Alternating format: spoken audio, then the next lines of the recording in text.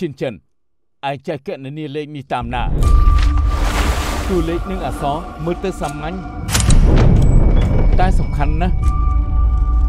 ពូកើតនៅថ្ងៃទី23មិថុនាឆ្នាំ1902ពើរស់នៅលើលោកនេះ15442ថ្ងៃក្មេងប្រុសនេះជាមោទនភាពគ្រួសារយើងដឹងថាគេខ្លាំងចឹងយូរនៅ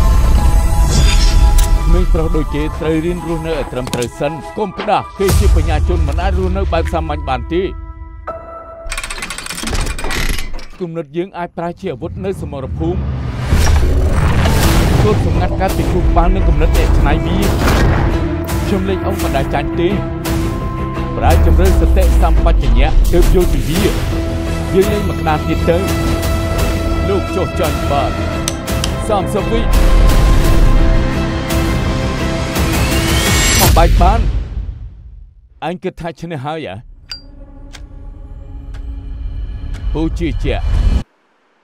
ថាឯងមានសមត្ថភាព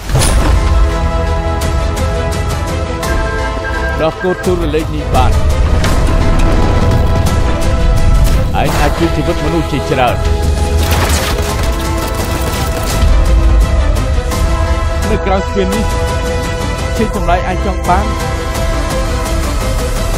ចម្លើយទាំងអស់ឯងត្រៀមខ្លួនហើយនៅ